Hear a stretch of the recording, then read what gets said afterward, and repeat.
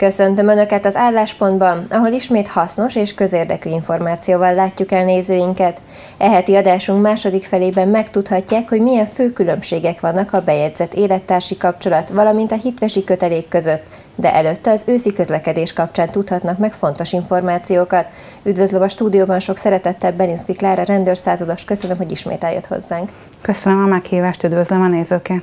Ahogy hallhatták, kedves nézőink, az őszi közlekedés kapcsán sok mindent szeretnénk körbejárni, de az első és talán legfontosabb, hogy a mai napon elkezdődött az iskola egy újabb tanév vette kezdetét, a rendőrség időről időre mindig segíti a közlekedést, és egy iskola rendőr programot hív létre. Kérem mutassuk be először ezt, hogy mióta van ez itt Rákosmentén, vagy mi a fő mondani valója ennek. 2008. szeptember 1-én indította el a rendőrség az iskola rendőr programot, és Rákosmente rögtön az első évben csatlakozott hozzá. Gyakorlatilag minden iskolánk részt vesz benne. Elsősorban a rendőrség és az iskolák közötti együttműködést helyezi előtérbe, illetve azt, hogy minden iskola tudjon személy szerint valamilyen olyan kollégához fordulni, aki ismeri a területet, ismeri az adott iskolát és ismeri a környéket. Ez most az idei esztendőben hol lesz ez a fajta rendőri segítségnyújtás? Mely iskoláknál?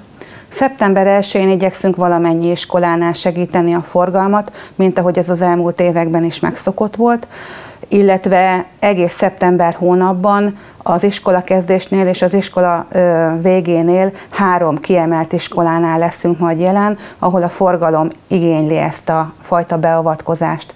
Ez előre láthatólag a Podmanicki iskola lesz, a Kossuth iskola, illetve az Újlak utcai általános iskola. Említették a legelején, hogy 2008 óta él ez a program vagy kezdeményezés. Miért fontos, hogy ez évről évre megvalósuljon, vagy önök személyesen miért állnak emellé?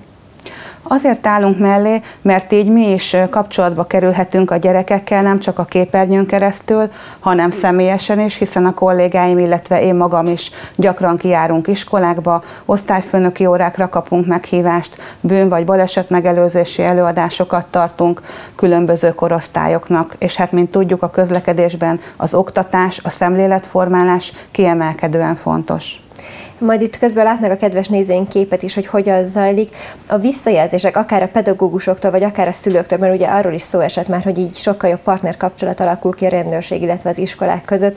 Milyen visszajelzések jutnak el önökhöz? Tehát, hogy ténylegesen segítik a közlekedést, a gyermekek nagyobb biztonságban vannak így az iskola idején, de önöknek milyen, milyen kis vízhangjai vannak?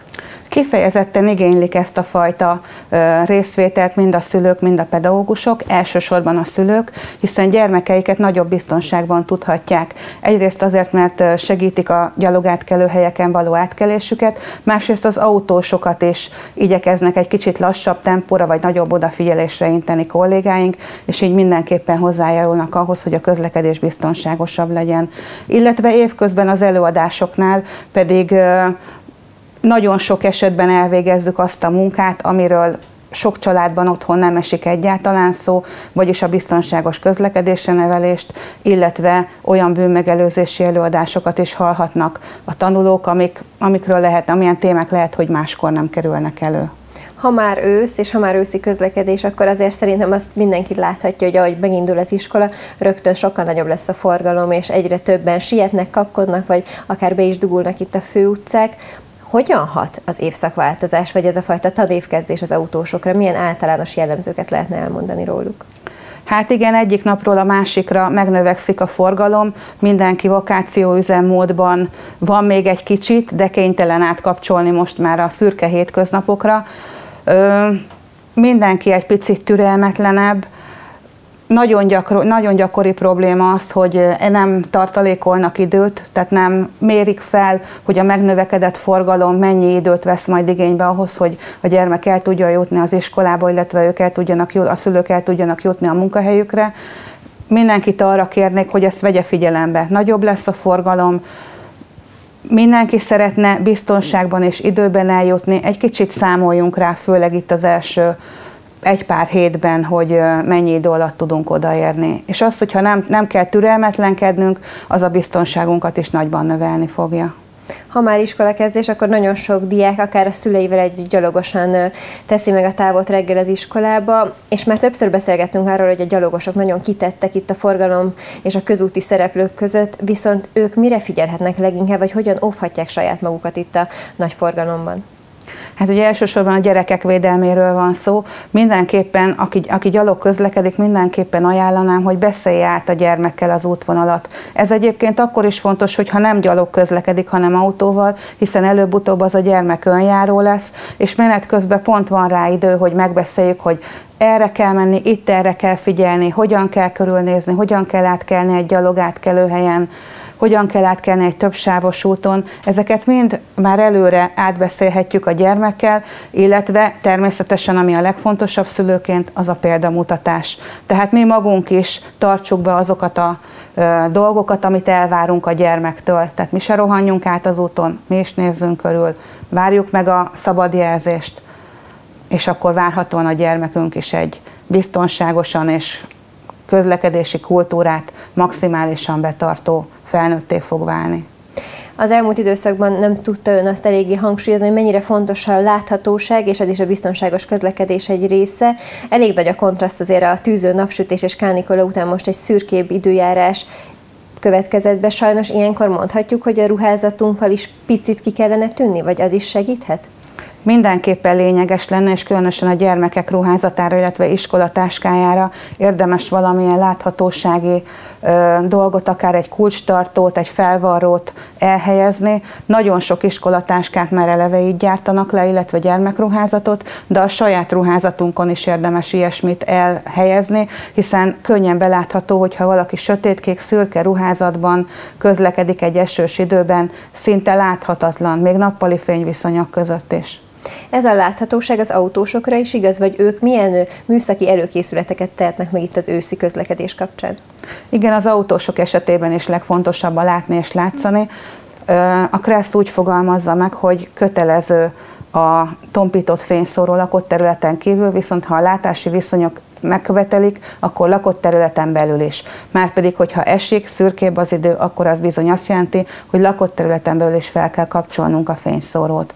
Nagyon fontos, hogy összelátnézzük a gépjárművünket biztonsági szempontból. Valamennyi fényszórónk világít remélhetőleg igen, hiszen ennek nem csak össze kell így lennie, hanem mindig.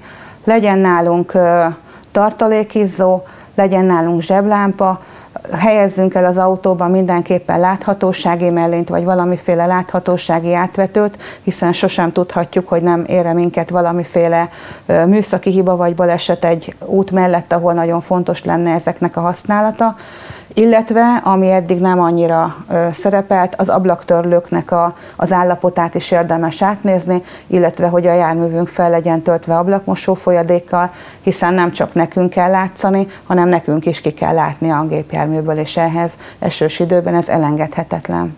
Ezeken kívül még van-e bármi olyan plusz, amit javasolnak, hogy mindenképpen legyen ott az autóban, gondolok itt akár egy palack vízre vagy pokrócra?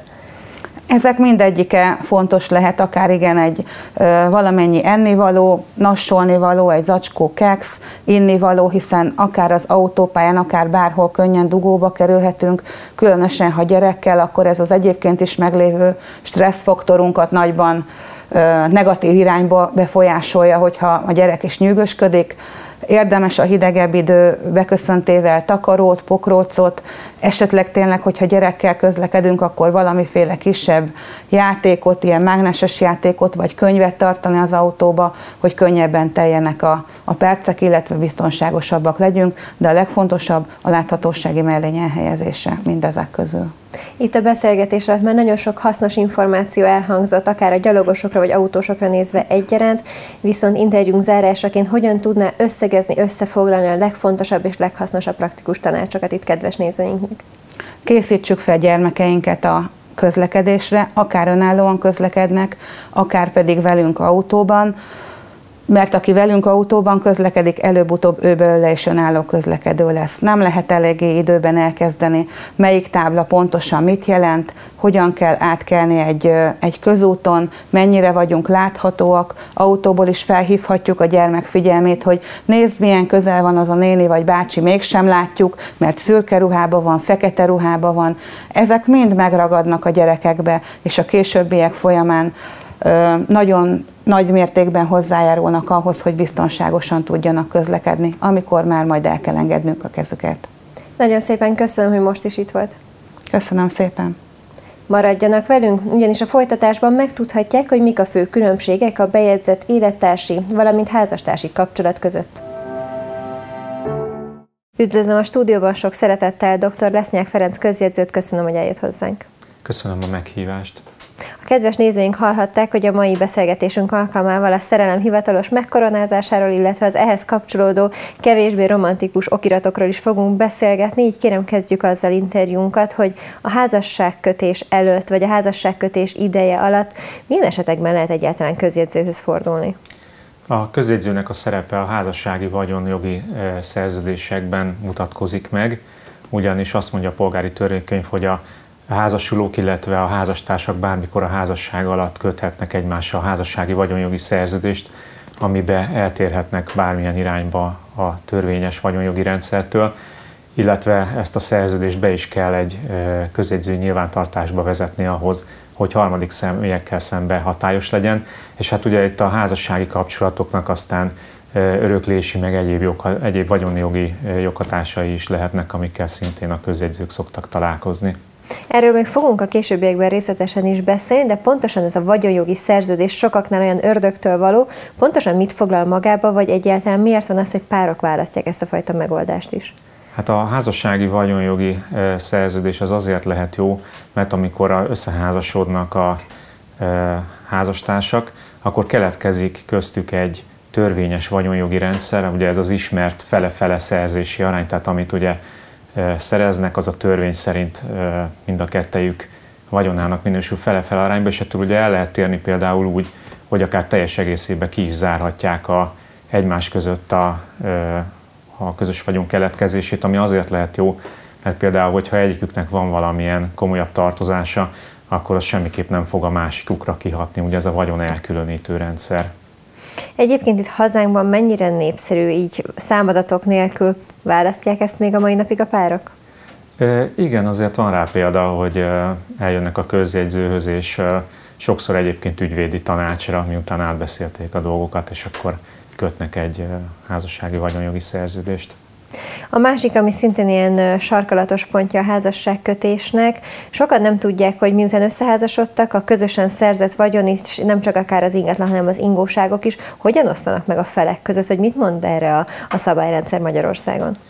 Hát a, a, ugye a házassággal létrejön ez a törvényes vagyonjogi rendszer, és alapjába véve közös szerzőnek minősülnek a házastársak, tehát hiába vesz, teszem azt a férje saját nevére egy ingatlant, az jogilag tulajdonképpen közösnek minősül, Ugyanakkor a magyar az egy vegyes rendszer, mert például az örökölt vagyontárgyak, ajándékba kapott vagyontárgyak, a házasság megkötése előtt már meg volt vagyontárgyak, azok mégiscsak külön vagyont képeznek egyébként valamelyik házas félnél. Nagyon sokan boldog kapcsolatban élnek, viszont nem hisznek sajnos a házasság szentségében vagy intézményében. Miért van az, hogy nagyon sok felnőtt pár azt választja, hogy csak sima élettársi kapcsolatban él? Lehet, hogy az az oka, hogy rendkívül egyszerű élettársi kapcsolatot részt létesíteni, ugyanis a polgári törvénykönyvnek a szabályai szerint, hogyha tulajdonképpen ketten összeállnak, úgymond, vagy összeköltöznek egy közös háztartásba, abban a pillanatban ők élettársaknak minősülnek, és hát ugyanilyen könnyű megszüntetni, és egész egyszerűen, ha az egyik elköltözik, akkor meg is szűnik ez az élettársi kapcsolat. De az a probléma vele, hogy ez ugyan nagyon könnyű létesíteni, meg nagyon könnyű megszüntetni, de igencsak korlátozottak a joghatásai, hát például a polgári törvénykönyv az nem is a családjogi könyvben, hanem a kötelmi részben a szerződések között szabályozza egy pár paragrafusba ezt az egész élettársi kapcsolatot, és adott esetben nagyon nehéz lehet már magát azt is bizonyítani, hogy az élettársak egyáltalán élettársak voltak-e, eh, hiszen hogyha nem is költöztek úgy kifejezetten össze, hol együtt laktak, ugye sokan megtartják azért a külön lakást, hol nem, már azon el lehet utólag vitatkozni, hogy egyáltalán létrejöttek közöttük élettársi kapcsolat, vagy sem, hogyha sehol sem regisztráltatják. És igazából itt a élettársi kapcsolat utólagos bizonyításának a megkönnyítésére van egy közjegyzői intézmény, ez a élettársi nyilatkozatok nyilvántartása az éjjennyeny. Hogyha ide beregisztráltatják magukat az élettársak, akkor utólag ugye nem lehet azt mondani semmiképp, hogy ők nem is voltak élettársak. Amennyiben valaki él ezzel a beregisztrációs folyamattal, úgy mondjuk a halálozáskor mi vonatkozik a, az életben maradt pár részére, tehát hogy örököle, vagy hogyan osztanak itt meg az anyagi dolgok ez esetben? Sajnos maga az élettársi kapcsolat az semmiféle öröklési jogi kapcsolatot nem hoz létre, tehát az élettársak nem törvényes örökösök. Itt van egy köz, közkeletű tévhit is egyébként, mert sokan azt gondolják, hogy tíz év élettársi együttélés után ők örökölnek, de ez nem igaz úgy általában. Ez a tíz év ez arra vonatkozik egyébként, hogy özvegyi nyugdíjat lehet viszont kapni tíz év élettársi együttélés után, de ezt nem szabad összekeverni úgy általában az örökléssel. Ha ez az egyik fő különbség az élettárs és a házastársi öröklés esetén, akkor például a közösen szerzett vagyon, és mondjuk ténylegesen nem házasok, de vesznek akár egy autót vagy egy ingatlant, ott mi történik esetleges szétváláskor?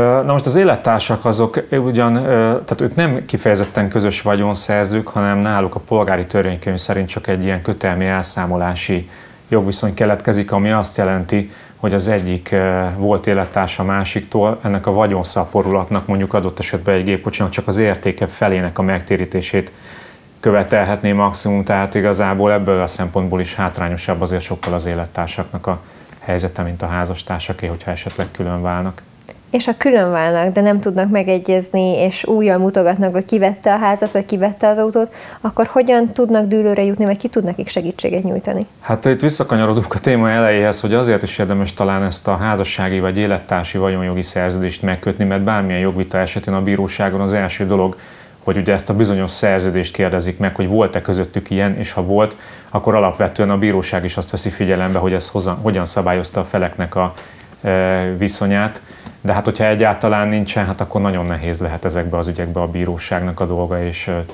sok évig eltarthat egy ilyen peres eljárás. Nagyon jó, hogy megint szóba jött ez a vagyonjogi szerződés, ugyanis beszéltük, hogy akkor ezt általában házaspárok kötik, viszont akkor akik élettársak és beregisztrált élettársak, ők is élhetnek ezzel a lehetőséggel? Így van, a polgári törvénykönyv az kifejezetten azt mondja, hogy az élettársak ugyanúgy, ugyanúgy köthetnek vagyonjogi szerződést, és ugyanúgy bármilyen rendelkezésben eltérhetnek tulajdonképpen ettől a bizonyos szerzeményi rendszertől, vagy vagyonszaporulat megosztási rendszertől, amit a polgári törvénykönyv az élettársak között felállít.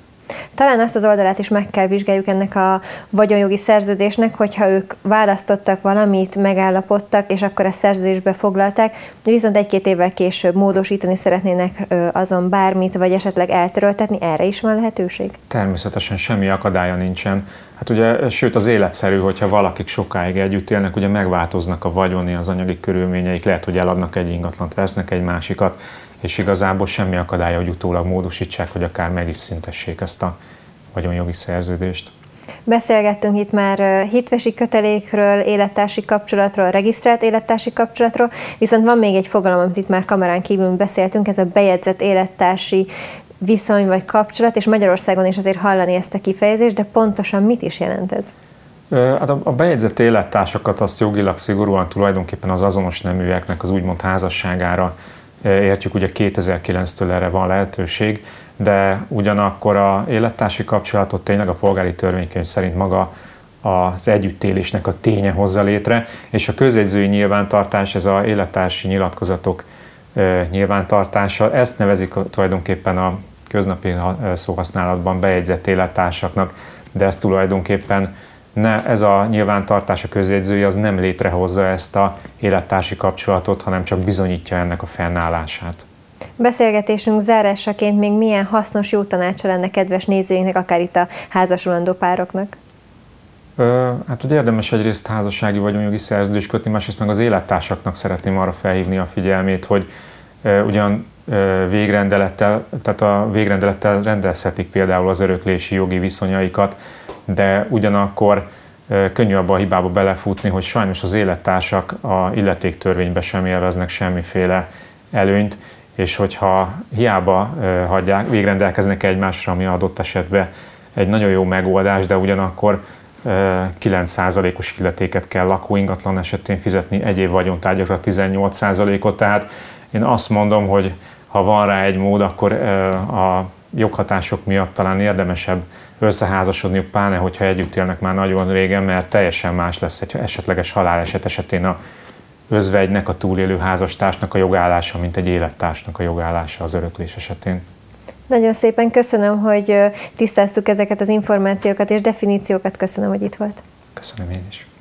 Önöknek pedig köszönöm a megtisztelő figyelmet, tartsanak velünk jövő hét pénteken is, amikor ismét hasznos és közérdekű információkkal jelentkezünk majd itt az álláspontban. Viszontlátásra!